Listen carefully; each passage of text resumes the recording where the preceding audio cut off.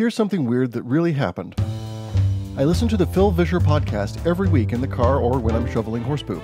What's the Phil Vischer podcast? It's a witty, fun 45 minutes or so around the table covering pop culture, media, theology, and how to be a thoughtful Christian and play the ukulele. Hey, it's a podcast. What do you know? Hey, it's a podcast. And we got video. Hey, it's a podcast. So lend an ear. The Phil Vischer podcast starts right here.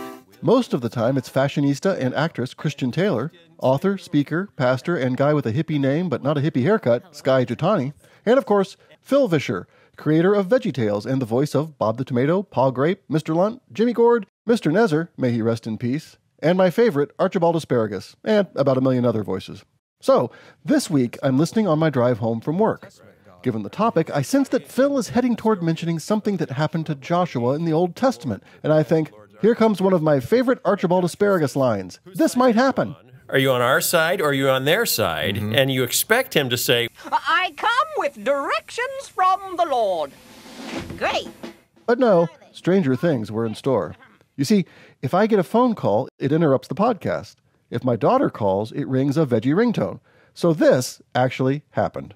in the story of, of Joshua, when the angel of the Lord, the, the head of the Lord's mm-hmm. army, appears to him, and Joshua says, Oh, where is my cell phone? Oh, where is my cell phone?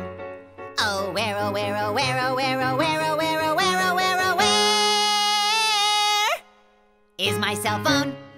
While we're on the subject, you need to start listening to the Phil Vischer podcast. Find it on iTunes or at philvischer.com.